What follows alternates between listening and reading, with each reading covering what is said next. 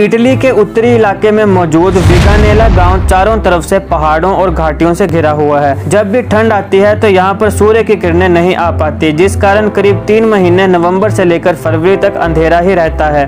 इस दौरान गाँव में सूरज की किरणें नहीं पहुँचने पर लोगों को कई बीमारियों से गुजरना पड़ता था। सूरज की किरणों की कमी के कारण गाँव के लोगों को नेगेटिव इम्पैक्ट अनिद्रा मूड खराब रहना एनर्जी लेवल कम होना क्राइम रेट बढ़ना जैसी समस्याओं से जूझना पड़ता था। इस बारे में एक डॉक्टर ने टिकटॉक पर एक वीडियो शेयर करके बताया है की कैसे एक गाँव बिना सूरज की रोशनी से तमाम समस्याओं से जूझता था।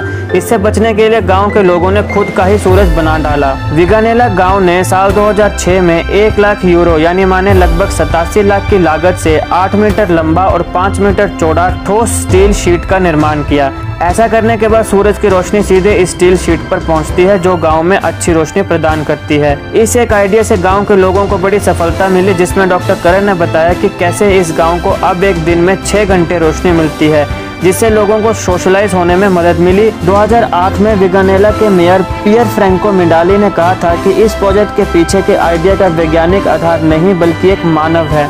मिडाली ने कहा था कि ये आइडिया लोगों को सर्दियों में सोशलाइज न हो पाने के बाद आया, जब शायद ठंड और अंधेरे के कारण बंद हो जाता था। आपको यह तथ्य जानकर कैसा लगा, हमें कमेंट बॉक्स में बताइएगा। वीडियो अच्छी लगे तो लाइक करें, शेयर करें और ऐसे मज़ेदार तथ्यों के लिए अभी बना चैनल सब्सक्राइब करें। धन्यवाद।